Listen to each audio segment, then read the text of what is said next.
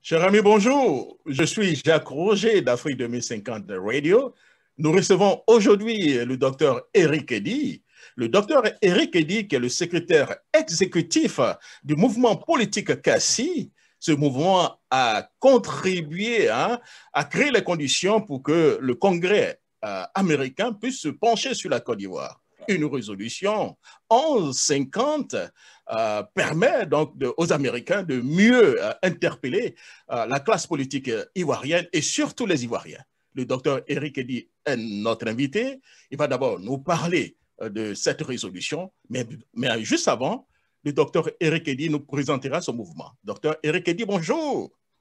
Bonjour encore une fois, euh, Jacques Roger. C'est moi qui vous remercie pour cette invitation.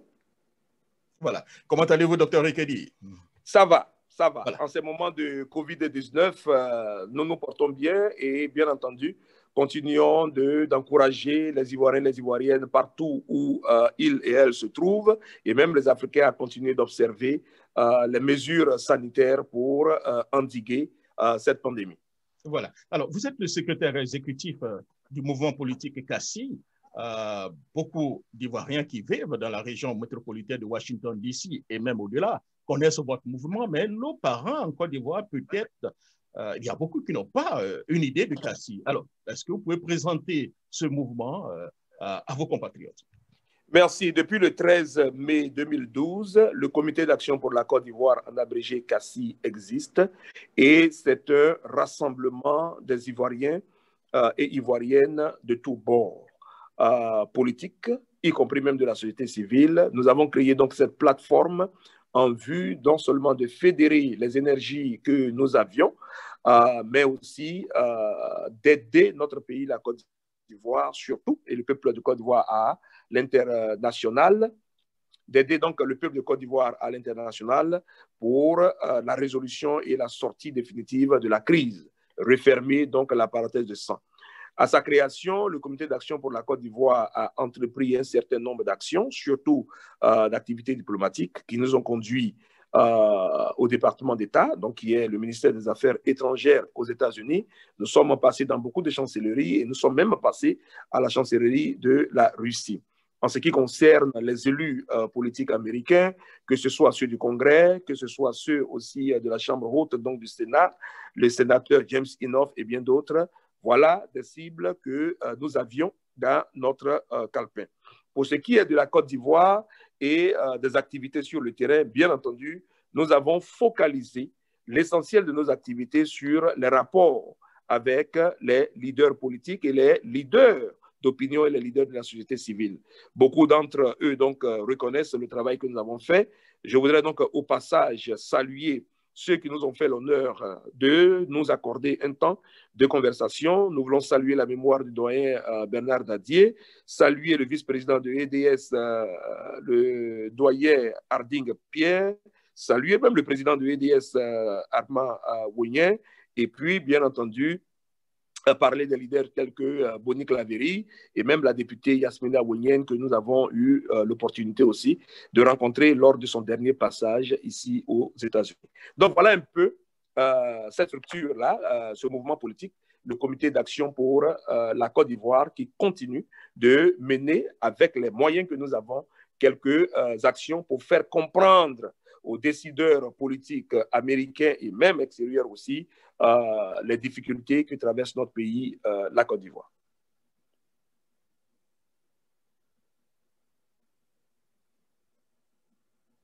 Je ne vous entends plus, je vous en prie.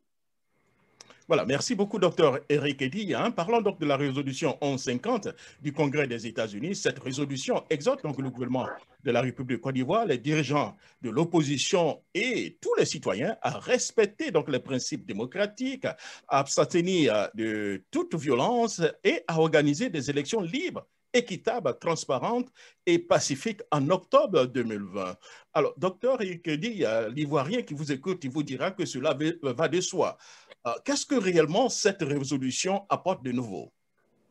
Bien, merci. Euh, avant toute chose, il faut euh, que, au nom du Comité d'action pour la Côte d'Ivoire, je dise mes félicitations à l'ensemble des Ivoiriens, à l'ensemble des acteurs, des représentations des partis politiques, que ce soit le Front populaire ivoirien, le FPI, aujourd'hui tous rassemblés dans euh, des coalitions pour travailler. Je voulais saluer les Ivoiriens qui individuellement ont euh, écrit ou bien appelé leurs sénateurs, euh, qui ont passé des coups de fil ça et là.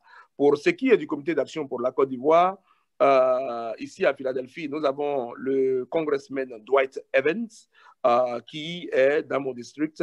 Ce monsieur que je connais depuis mes années d'étudiant à Temple University, lorsqu'il était encore sénateur au niveau de Pennsylvanie. Nous l'avons rencontré à plusieurs reprises.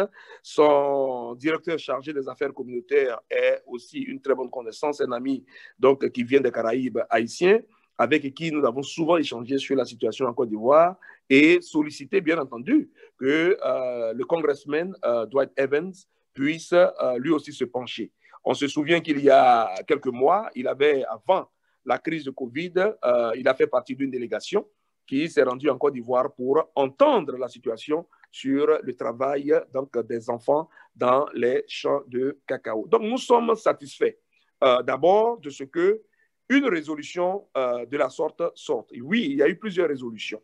Mais quand vous regardez l'histoire politique de la Côte d'Ivoire, quand vous regardez un peu ce qui s'est passé entre 2000 et 2010, les positions assez corsées et très fortes prises par les décideurs américains et surtout par l'exécutif, ceux qui sont un peu sceptiques sur euh, la mouture de cette résolution auront peut-être raison. Mais en même temps, il faut se satisfaire peut-être d'un certain nombre de choses. Premièrement, la joie doit être que les Ivoiriens qui poussent, les Ivoiriens qui ont sollicité du Congrès américain, de, euh, des États-Unis, de pouvoir se prononcer sur la situation en Côte d'Ivoire en fonction des relations économiques diplomatiques qui existent entre ces deux pays, on doit se satisfaire de ce qu'une résolution sorte. La résolution, bien entendu, ne va pas, comme certains l'auraient souhaité, directement demander à M. Alassane Draman Ouattara de euh, ne pas se présenter. Mais vous voyez que cette résolution souligne bien dans un de ses traits, pour parler donc de euh, la question du respect de l'ordre constitutionnel, du respect des droits, du respect des lois, pardon, la résolution euh, inclut clairement que la décision de M. Alassane Draman Ouattara de se présenter à euh, un troisième mandat, en dépit de la limitation des mandats de l'exécutif en Côte d'Ivoire à deux, tel que précis dans la Constitution, a bien entendu augmenté les tensions et plusieurs citoyens et citoyennes en sont, euh, ont été tués et des douzaines encore ont été blessés parmi les, durant les protestations qui ont eu lieu à la suite de cette décision donc, de se porter candidat. Ça, c'est une euh, formule assez importante ici. Cela voudrait dire que quelque part, le Congrès, les décideurs américains au niveau de la Chambre basse reconnaissent quelque part qu'il y a une tentative de violation de la Constitution puisque le langage est différent. On entend du côté de euh, la Côte d'Ivoire, le régime d'Alassane Draman Ouattara dit que cette décision de briguer un autre mandat est constitutionnelle et le Congrès américain dit en dépit de la limitation de mandat à deux tel que prescrit, euh, dans la Constitution. C'est une chose sur laquelle il faut insister. La deuxième chose qu'il faut aussi comprendre, euh, amis de la Côte d'Ivoire, c'est que euh, cette résolution n'est pas tout à fait aussi différente. Les États-Unis interpellent, euh, les congressmen interpellent toute la classe, tous les acteurs politiques, toutes les actrices politiques, que vous soyez dans les rues, que vous soyez euh, à la tête de partis politiques, que vous soyez à la tête de formations politiques ou bien à la tête d'organisations de la société civile, tout le monde est interpellé. Et c'est une bonne chose. Pourquoi? Parce que c'est de commun accord, c'est tous ensemble que nous contribuons à l'organisation d'élections inclusives, d'élections apaisées, d'élections crédibles, d'élections transparentes qui maintiennent la paix dans notre pays.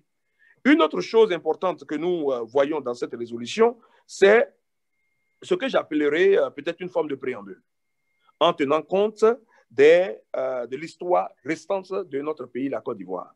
Nous savons tous ce qui s'est passé en 2010 et nous n'avons pas besoin d'attendre une résolution des États-Unis, ivoiriens et ivoiriennes, pour nous en dire davantage. C'est la raison pour laquelle cette interpellation, pour moi et à notre sens au niveau du comité d'action pour la Côte d'Ivoire, cadre très bien avec l'appel de l'opposition en général, et l'opposition réunie, à une désobéissance civile, qui est un acte pacifique, un processus paisible en lui-même. Parce que la désobéissance civile telle que nous l'avons connue depuis David Henry euh, aux États-Unis, ensuite Mahatma Gandhi et Martin Luther King et bien d'autres personnes qui ont repris cela, ça n'inclut pas de violence ou bien des actes de violence, mais plutôt des actes pacifiques qui arrivent toujours à s'aborder euh, et faire reculer le régime qui est en place. Donc, il y a plusieurs interpellations ici sur, euh, dans cette résolution qui, encore une fois, nous saluons. Mais nous disons qu'au vu de la position de l'exécutif américain il y a euh, environ dix ans, les Ivoiriens qui pensent que cette résolution aurait dû directement demander à M. Alassane Draman Ouattara de retirer sa candidature ont peut-être raison de le dire. Mais en même temps aussi, quand nous le faisons, puisque nous sommes soucieux de notre souveraineté, il est important pour nous aussi de savoir qu'il appartient encore une fois au peuple de Côte d'Ivoire, dans sa grande majorité qui aujourd'hui refuse une candidature de M. Alassane Draman Ouattara, d'entreprendre par la désobéissance civile ce qui est en son pouvoir pour que cette candidature-là n'ait pas lieu et que les dispositions de la Constitution soient respectées afin que des élections crédibles, transparentes, euh, apaisées se déroulent en Côte d'Ivoire. Merci, docteur Eric Eddy. Hein. Certaines personnes vous diront, docteur Eric Eddy, euh, vous êtes un démocrate, vous parlez beaucoup plus de la Constitution. Euh, le Conseil constitutionnel s'est déjà prononcé.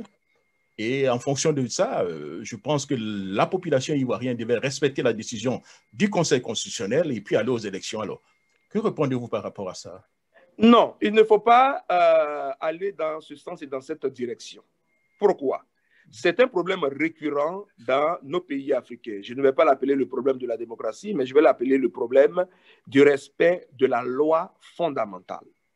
Le prononcé, le verdict tel que euh, annoncé par le Conseil constitutionnel en date du 15 septembre 2020 est rien d'autre qu'une forfaiture. Et ça, nous le savons tous. Les arguments avancés par ce Conseil constitutionnel-là, d'abord, un, pour valider la candidature de M. Alassane Draman Ouattara en disant que des leaders de partis politiques avaient eux-mêmes dit que M. Ouattara pouvait se prononcer, ce n'est pas faire acte, ce n'est pas utiliser un acte de loi, même si la loi aussi tient compte des aspects de la société dans laquelle nous vivons. Deuxièmement, dire que euh, entériner, pardon, plutôt l'idée de remise à zéro euh, de compteur, c'est aussi un précédent très dangereux pour notre pays.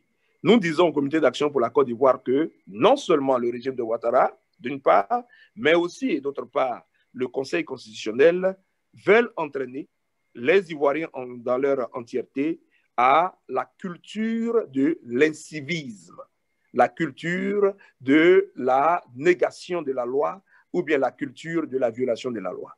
Il n'y a pas en l'état actuel, et restons clairs là-dessus, un seul article de droit, de loi, une constitution qui, depuis 2000, permet à M. Alassane Draman Ouattara de se porter encore une fois candidat.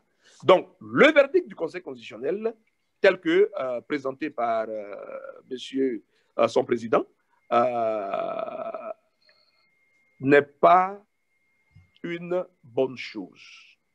Et je crois que sur ce plan-là, et au vu des arguments avancés, euh, Mamadou Kone a erré.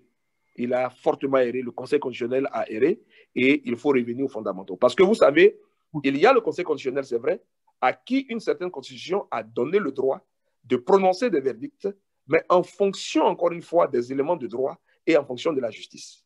Si on se met donc du côté pour dire que le Conseil constitutionnel a prononcé quelque chose et donc pour cela, il faut se taire et pouvoir avancer, encore faudrait-il que ce qui a été prononcé soit fait au vu du droit. Mais vous savez, tout cela ne devrait pas nous amener nécessairement à des morts d'hommes. Ah, ça ne devrait pas nous amener à cela.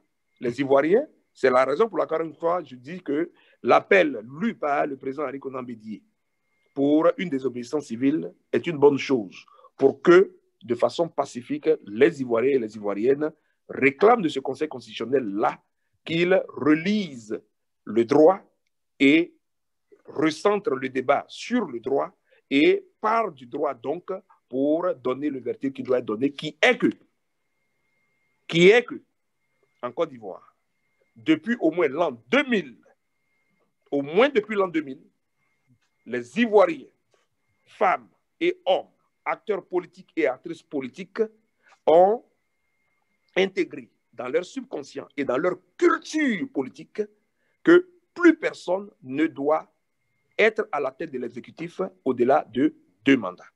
C'est un acquis. On ne revient pas là-dessus. Si nous voulons revenir là-dessus, il faudrait que clairement une nouvelle constitution ait été votée dans laquelle il est bien stipulé, en tout cas, que cette disposition-là n'existe plus, comme c'était le cas pour la constitution de 1960 qui nous a amenés jusqu'à euh, la fin des années 2000.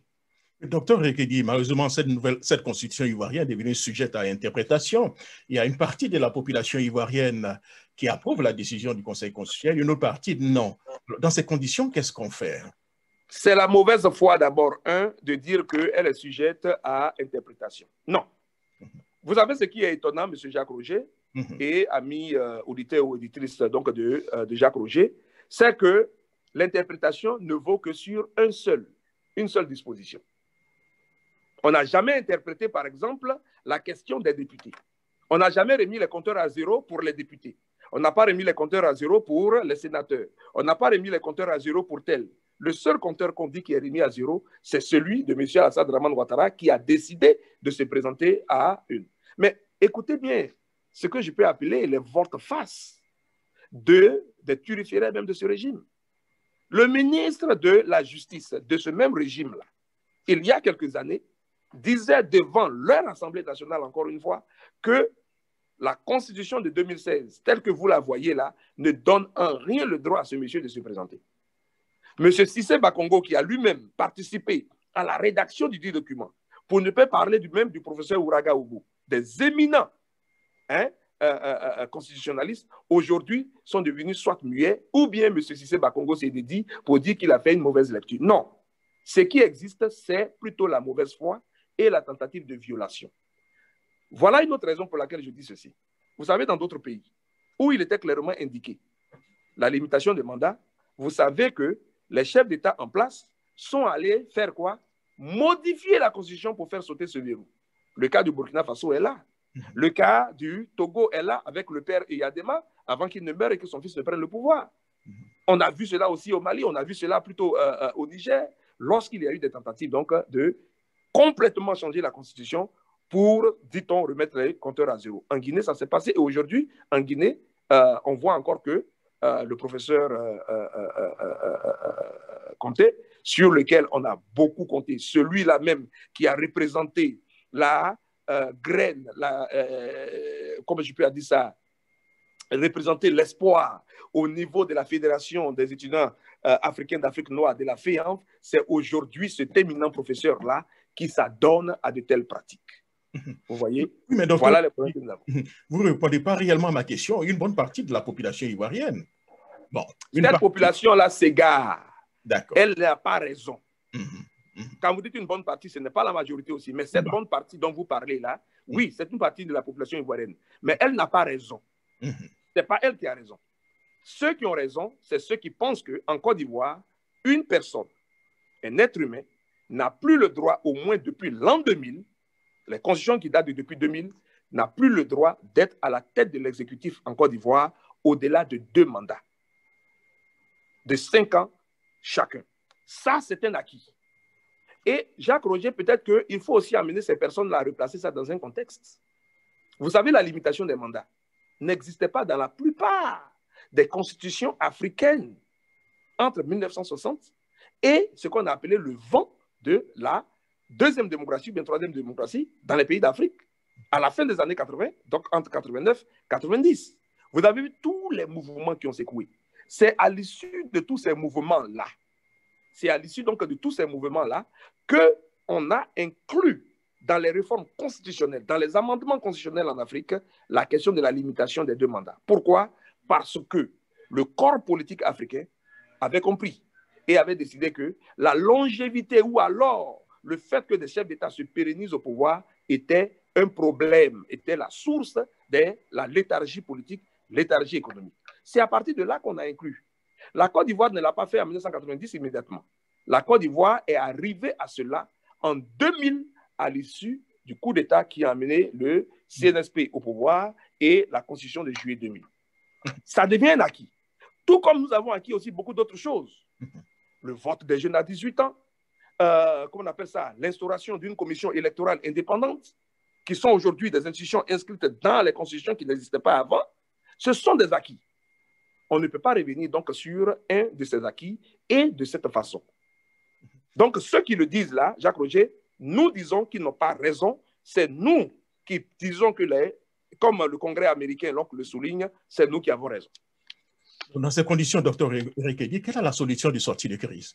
Voilà la solution de sortie de crise que le comité d'action mhm. Voilà la solution de sortie de crise que le comité d'action pour la Côte d'Ivoire a proposée depuis 2013, M. Jacques Roger, vous le savez, et qui aujourd'hui, nous sommes satisfaits, fait son bon nombre de chemins. Vous savez, en 2013, nous avons déjà lancé l'idée de la transition politique en Côte d'Ivoire. Beaucoup nous ont dit, y compris des journalistes, des hommes politiques et tout ça, nous ont dit attention, une transition veut automatiquement dire que nous préparons un coup d'État, nous préparons donc euh, un bain de sang, une fusion de sang pour évincer un régime au pouvoir. Nous avons rétorqué pour dire non. Il y a plusieurs cas d'exemples, d'écoles en Afrique qui montrent qu'une transition ne veut pas forcément dire effusion de sang, coup d'État, ou bien même éviction de ceux qui tiennent les rênes du pouvoir. Mais cela veut dire l'instauration d'un dialogue, l'instauration d'un débat. Aujourd'hui, vous entendez le Congrès américain, vous entendez la fondation euh, Kofi Annan, vous entendez le ISIS, euh, le, pardon, le International Crisis Group, vous entendez même aussi euh, l'Institut de sécurité, d'études sur la sécurité. Toutes ces organisations-là appellent à un report de l'élection présente mais pas report simplement pour un report, report pour préparer. Or, cette préparation ne peut que passer par ce que certains appellent un dialogue que nous nous appelons une transition. La solution aujourd'hui, donc, Jacques Roger, la Côte d'Ivoire a une chance d'aller à une transition. Comment est-ce que nous déclinons cette transition? Nous savons que nous aurons euh, l'occasion de nous donner euh, une autre opportunité, pardon, une autre occasion de nous étendre encore une fois sur comment nous déclinons aujourd'hui cette transition. Mais c'est la porte, c'est la voie, c'est la sortie.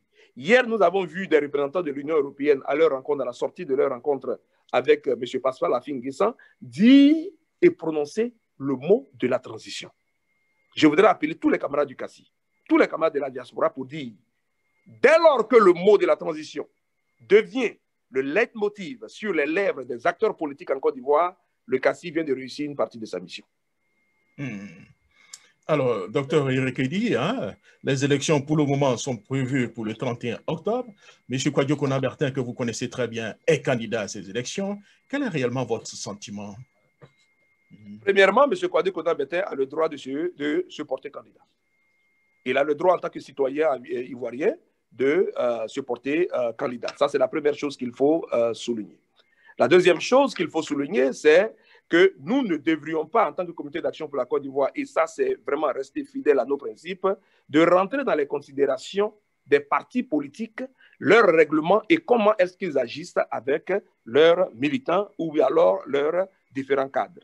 Nous l'avons fait pour le euh, Front populaire ivoirien, où vous voyez avec euh, cette euh, division, on parle même de rencontrer les représentants de l'Union européenne, parlent de à leur sortie de la rencontre avec Afingé, dit que nous allons rencontrer aussi M. Assoua Adou, qui est du FPI Pro Babo. Le comité d'action pour la Côte d'Ivoire n'est pas rentré dans ces termes. Ça, c'est la deuxième chose. La troisième chose, nous disons qu'en dépit de, du droit de M. Kakabe, qu'on a Kwadio Bertin de se porter candidat, lui qui est fidèle aux lois, lui qui est fidèle et rappelle toujours la question du principe de l'égalité, du principe donc de l'état de droit, du principe de la paix.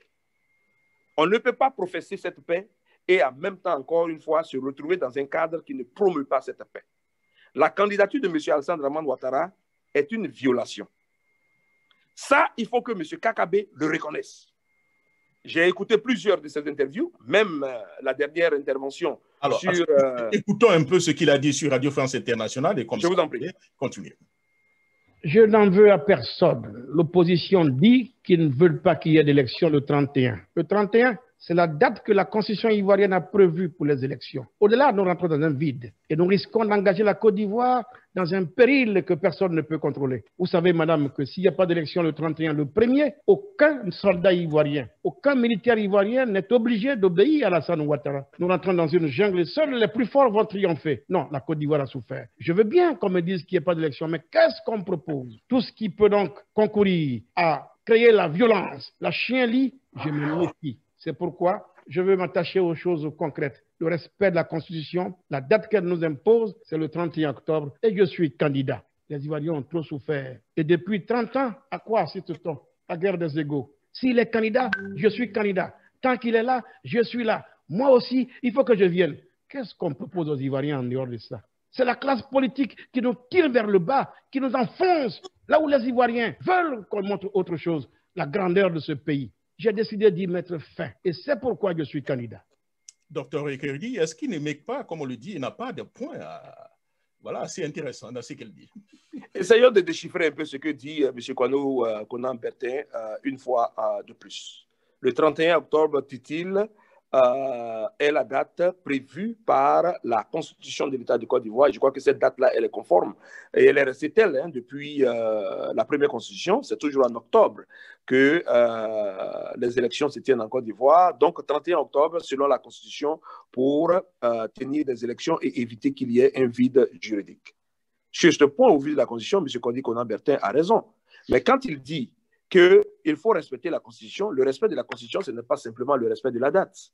Sortons donc du fétichisme de la date. C'est pourquoi nous disons que le respect de la Constitution, c'est d'abord le respect des droits civiques, politiques des Ivoiriens et des Ivoiriennes. Or, il se trouve que la candidature de M. Alassane Draman Ouattara ne respecte pas ce droit civique-là. Voilà ce que les Ivoiriens et voilà ce que l'opposition, dans sa majorité, dit. L'opposition et certains ont appelé M. Kakabe à ne pas cautionner cela en restant candidat. Cela ne veut pas dire que demain, quand des élections sont organisées, M. Kakabe n'est pas candidat. On veut simplement dire que les conditions telles que présentées et le simple fait d'abord même que M. Alassane Draman Ouattara soit retenu sur une liste de candidatures est une violation et donc ne respecte pas ce que M. Kakabe lui-même appelle le respect de la Constitution. Ça, c'est la première chose. La deuxième chose, il parle au-delà du 31, il y aura un vide. Je ne suis pas d'accord avec lui. En 2005, la Côte d'Ivoire était dans une situation telle que des élections ne pouvaient pas se tenir. Monsieur Jacques Roger, je me souviens encore une fois, nous étions en ce moment-là à New York, devant le siège des Nations Unies, lorsque le Conseil de sécurité des Nations Unies a sorti ce que nous avons appelé la fumée blanche est sortie.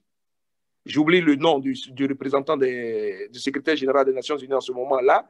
Je crois que c'est un Irlandais ou bien euh, un Suisse, euh, je ne sais pas quoi, mais vraiment grand détail, j'oublie le nom, qui euh, en ce moment-là était là. Et cette fumée blanche-là est sortie. Le Conseil de sécurité a décidé de faire quoi? De prolonger. Bon, décidé. Bon, la résolution qui a été prise de prolonger donc le mandat du président Laurent Gbagbo, puisque 2005, les élections ne pouvaient pas se tenir. Qu'est-ce qui s'est passé ensuite? Ce n'est pas, il n'y a pas eu des soldats qui ont désobéi. Les soldats qui désobéissaient au président Laurent Gbagbo sont les mêmes soldats qui déjà en 2002 avaient pris des armes. Le pays était divisé en deux. Donc je veux dire que nous avons, en tant qu'acteurs politiques, y compris M. Euh, Kakabe, le pouvoir aujourd'hui, à partir du 31 octobre, de dessiner une autre Côte d'Ivoire. Qui est quoi? Qui est que, oui, à la date du 31 octobre, le Mais mandat rentre pas Alassane Ouattara. l'incertitude, Docteur Yekedi, on rentre pas un peu Non, on ne parle pas d'incertitude. Il y aura une incertitude simplement Hmm. lorsque nous n'avons rien mis en place. Mais voilà une opposition aujourd'hui qui appelle à un dialogue. Voilà où des acteurs politiques aujourd'hui qui appellent à un dialogue. Les Ivoiriens eux-mêmes appellent à une paix et on parle des oppositions et les partisans de M. Ouattara qui représentent aussi à la dernière élection à peu près, on peut dire entre 40 et 50% de la population aussi. Oh non, vous ne pouvez pas dire que les partisans de M. Ouattara représentent entre 40 et 50 de la population. Je ne suis pas d'accord. À la dernière je ne sais pas d'où vous tirez. au moins sur les dernières élections. Hein. Non, je ne sais pas d'où vous tirez ce chiffre-là, mais les acteurs politiques, y compris M. Kakabe lui-même, vous diront que les 40 et 50 dont vous parlez vont inclure peut-être les dernières élections. Donc, quand c'était le cadre du RHDP, où vous aviez encore une fois euh, les partisans de Mabri Touakeus, vous avez les partisans du PDCI RDA, vous avez les militants de ceci et de cela. Je ne crois pas que euh, le RHDP, le RDR aujourd'hui, lui seul représente 40 à 50 des Ivoiriens. Mais encore une fois, sans ne pas être d'accord, je n'ai pas ces chiffres. Mais je vais revenir sur ce que vous avez dit, monsieur, euh, pour revenir à ce que M. Kakabé dit, euh, l'argument selon lequel il y aura un vide juridique en Côte d'Ivoire et que les soldats ne obéiront plus à, à, plus personne en Côte d'Ivoire, je crois qu'il ne faut pas être alarmiste dans ce sens-là. Je ne crois pas. Je ne crois pas. Et je ne trouve pas que ces raisons-là sont assez solides pour cautionner, encore une fois, comme je le dis, une candidature de M. Alassane Draman Ouattara. Parce que, M. Jacques Roger, essayons de tenir un peu compte. Et M. Kakabe est très bien placé pour lui qui a été au sein de l'appareil euh, du PDCI-RDA depuis, je ne sais plus euh, combien d'années, mais depuis plus de 30 ans, comme il le dit, qui a été député, qui a été un acteur donc, euh, politique de premier plan, qui a parcouru certaines capitales, qui sait ce qui s'est passé dans les différentes négociations au moment où la Côte d'Ivoire vivait la période de la cassure, M. Kakabe sait que le 31 octobre est une date importante, mais ce qui est encore plus important, ce sont les conditions. Les conditions. Les conditions. Parce qu'on a voulu tenir une date, le 10, pardon, en octobre 2010, toute la communauté internationale, encore une fois, cette communauté internationale, a dit que la sortie des crises en Côte d'Ivoire, ce sont des élections. Forcément. Et la pression énorme sur les acteurs politiques, et notamment le président Laurent Gbagbo en ce moment-là, pour obtenir et tenir des élections. Monsieur Jacques Roger, nous sommes tous témoins. Mhm. Qu'est-ce qui s'est passé ensuite? Est-ce que c'est la même chose que nous voulons encore avoir ici? Mhm. Pourquoi est-ce qu'on ne peut pas donner une chance mhm. à cette période de dialogue et de transition que beaucoup sont aujourd'hui en train d'appeler Daniel Poli Cabri en parle. Afingessa lui-même parle de ça. Henri Tohou parle de ça, même si c'est un acteur, un ancien candidat quand même. Il y a beaucoup d'acteurs aujourd'hui qui disent que le moment est propice pour que la Côte d'Ivoire, hmm. de façon inclusive, s'asseye pour préparer cette période de transition. Je termine dessus, M. Jacques Roger, pour dire ceci, que moi, j'appellerai encore une fois M. Euh, Kakabe, avec qui d'ailleurs nous souhaiterions nous entretenir, pour lui dire que premièrement, il fait acte de bravoure en se portant candidat. Quand vous regardez la liste des candidats, il est quand même celui qui euh, du point de vue de l'âge, du point de vue de, des idées, peut-être se rapproche un peu des nouvelles générations. Ça, c'est la première chose et c'est bon. Mais est-ce que nous pouvons cautionner, appeler et encourager M. Kakabe à aller dans une élection dans laquelle, d'une part, on veut respecter la date pour coller à la Constitution, mais d'autre part, on fait fi des conditions, comme il a dit lui-même au d'une interview, depuis quand est-ce que toutes les conditions peuvent être réunies pour des élections? M. Alassane Draman Ouattara est en train de créer un problème grave en Côte d'Ivoire, qui est, encore une fois, la pérennisation de l'incivisme. Si aujourd'hui nous commençons avec ça, vous allez voir que dans cinq ans, tous ceux qui viendront, on va aller de manipulation en manipulation de constitution. Docteur Reddy, avant de vous laisser partir votre mot de fin, mais hein, avant votre mot de fin, ce qu'il faut retenir, c'est que le CACI est contre l'organisation de ces élections en octobre, le 31 octobre, aussi contre la candidature de M. Alassane Draman C'est ce qu'on peut dire. Il faut plutôt renverser les choses rapidement, M. Jacques Roger. Le comité d'action pour la Côte d'Ivoire redit encore une fois que depuis 2013, nous le disons, une sortie de crise en Côte d'Ivoire requiert au moins trois choses. La première, c'est le départ de M. Alassane Draman Ouattara. Aujourd'hui, après dix ans, même si nous concevons que oui, il a fait ces dix ans-là de façon entre griffes constitutionnelle, le temps est venu pour lui. À la date du 31 octobre, c'est fini pour lui. Ça, c'est la première chose que nous disons. La deuxième chose que nous disons, c'est que la Côte d'Ivoire n'a pas besoin d'une élection Mais la Côte d'Ivoire a besoin d'une transition qui l'amène et crée les conditions d'une élection apaisée, d'une élection qui est inclusive, d'une élection qui est transparente, d'une élection qui est crédible et qui ne débouche pas sur des violences électorales. Troisièmement, le Cassil a toujours dit, tant que la France continuera d'intervenir dans les affaires internes de la Côte d'Ivoire comme nous le voyons, nous continuons d'avoir des problèmes. Voilà les trois principes fondamentaux que nous avons posés. Donc, dans l'ordre des choses. Donc, la date du 31 octobre pour nous, c'est la date peut-être de, euh, si les choses avaient été euh, comme nous le souhaitions, une, pour avoir une élection euh, crédible. Mais encore une fois, lorsque nous parlons d'élection inclusive, cela ne veut pas dire que M. Hassan Ramon Ouattara doit être inclus. Sinon, ce serait encore une violation de la Constitution. Pour M. Alassane Drama Ouattara, ça n'est fini.